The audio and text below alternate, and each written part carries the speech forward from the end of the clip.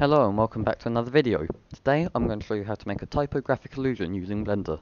This is a really quick and easy thing to do, so let's get started. First thing we're going to want to do is to delete your default cube if you have one. To do that, all you have to do is press X, then Enter. So you have no default cube, so it's like my one. We're now going to add some text. So we're going to press Shift A to, to go to Add.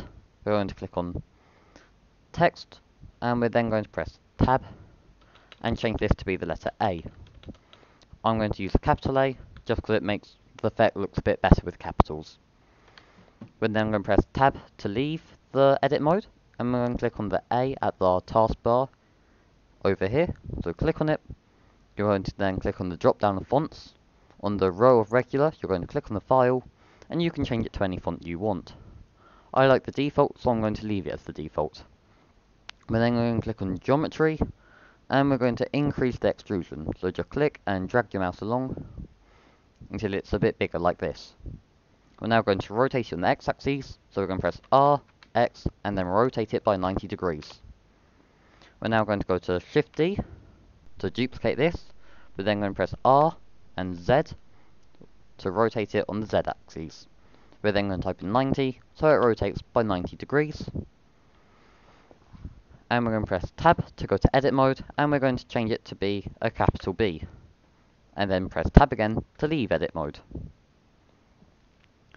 We're now going to scale it in because as you can see there's not much material between them at the top and basically none at the bottom. So to do that you press S and move your mouse in. Maybe move it up by pressing G, Z and drag it up. And then just scale it until it looks about right. We're now going to go to Object, Set Origin, Set Origin to Center of Mass Volume. We're now going to shift click on the A, press F3 and type in convert, convert to will be there, so click on it, type in, click on mesh from curve meta surf text, and now we're going to click on the wrench or spanner, add modifier and click on the boolean modifier. We're going to then click on difference and change it to intersect and on object we're going to click on text 0001. So you can see it has sort of happened but we still have this big B here. So the way we do that is we click on the eye, eye on text 0001 so here, click on the eye and there it is you can see the shading's not quite, quite right. Yeah, the shading's not quite right, so we're going to fix that. To do it, you click on it, you then click here on the triangle, which is Object Data Properties. You could then click on Normals and enable Auto Smooth.